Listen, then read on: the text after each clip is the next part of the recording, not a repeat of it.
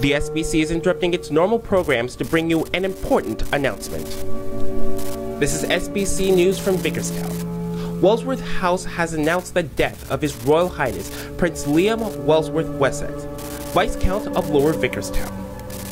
In a statement, the House said the Viscount died peacefully at his home in Lower Vickerstown this morning. The King and Prince Consort have sent their condolences to Her Royal Highness, the Dowager Viscountess of Lower Vickerstown.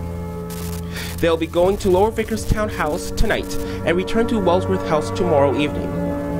SBC Television is broadcasting a special program reporting on the death of His Royal Highness, the Viscount of Lower Vickerstown.